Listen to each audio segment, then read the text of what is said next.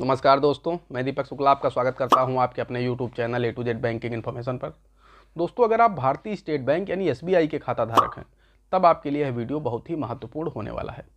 क्योंकि भारतीय state bank यानी एसबीआई ने अपने ऑफिशियल ट्विटर हैंडल से एक ट्वीट के माध्यम से जानकारी दी है अपने ग्राहकों को कि भारतीय स्टेट बैंक एक जनवरी 2022 से एटीएम से जुड़े जो ट्रांजेक्शन हैं, उनमें बदलाव करने जा रहा है। तो दोस्तों, ऐसे कौन कौन से बदलाव हैं? जो कि एक जनवरी 2022 से आपके एटीएम में होने वाले हैं। मैं इसी विषय पर आपको विस्तार से जानकारी देने वाला हूँ कि किस तरह से आप एटीएम में एक जनवरी से ट्रांजेक्शन या लेन देन कर पाएँगे। उससे पहले आपसे एक रिक्वेस्ट है, अगर अभी तक आपने मेरे चैनल को सब्सक्राइब नहीं किया है, चैनल पर नए हैं तो प्लीज़ चैनल को सब्सक्राइब करने के साथ साथ बेल आइकान भी प्रेस कर दीजिए, ताकि इस तरह के लेटेस्ट अपडेट आपको मिलते रहें।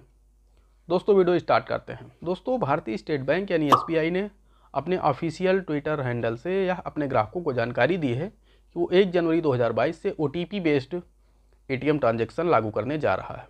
तो दोस्तों, मैं आपको जानकारी देने वाला हूँ कि अब क्या बदल जाएगा पहले से, क्या अलग होने वाला है इस व्यवस्था में।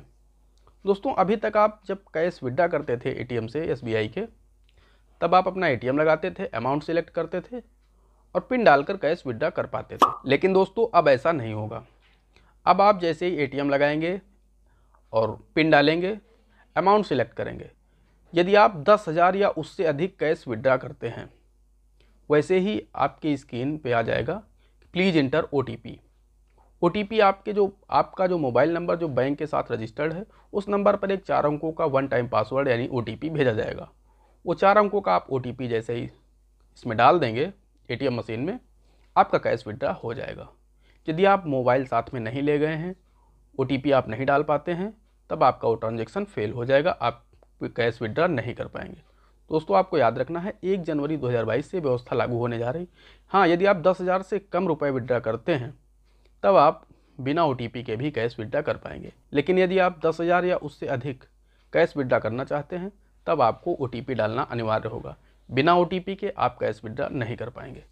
दोस्तों, एसबीआई ने ट्वीट के माध्यम से अभी जानकारी दी है कि फ्रास्टर्स को रोकने के लिए, यानी फ्रॉड और ठगी को कम करने के लिए इस व्यवस्था को लागू किया जा रहा है, जिससे ग्राहकों के साथ धोखाधड़ी कम होगी। मैंने आपको पूरी जानकारी दे दी है कि किस तरह से आप एक जनवरी 2022 से एसबीआई के एटीएम से आप कैश विड्रा कर पाएँगे।